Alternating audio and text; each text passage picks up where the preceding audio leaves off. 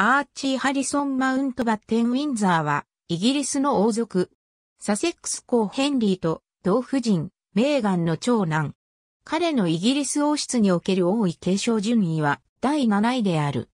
サセックス公の長男の誕生をウィンザー城の近くで待つ群衆と報道陣アーチーは2019年5月6日午前5時26分、父のサセックス公爵ヘンリー王子と母のサセックス公爵夫人メーガンとの間に第一子として誕生した。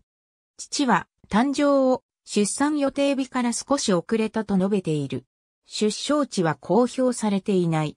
マスメディアは彼の出生地はサセックス公夫妻の自宅であるフロッグモアコテージかロンドン市内の病院のどちらかであると推測している。ナイアガラの滝や CN タワー、ロンドンアイなどを含むイギリス国内外の複数のランドマークでイルミネーションが灯された。誕生から2日後にウィンザー城での報道陣のインタビューに際し、初披露された。彼は父方からイギリス王室とスペンサー伯爵家、母方からオランダ系アメリカ人、アイルランド系アメリカ人、アフリカ系アメリカ人など多様なアメリカ合衆国公民の血を引く。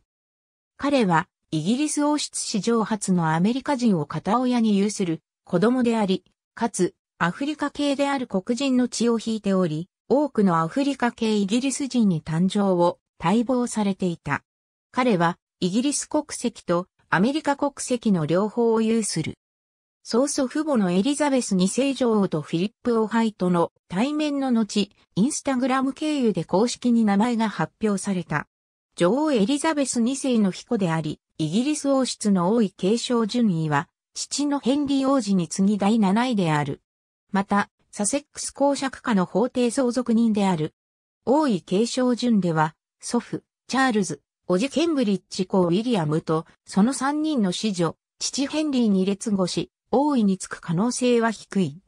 プリンス・オブ・ウェールズの次男の子供であるため、王子の称号と殿下の敬称は有していない。慣例として、父の従属爵位であるダンバートン伯爵を儀礼称号として使用すると見られていたが、両親の意向により、爵位ではなく年少の貴族の子息の故障であるマスターを使っている。ありがとうございます。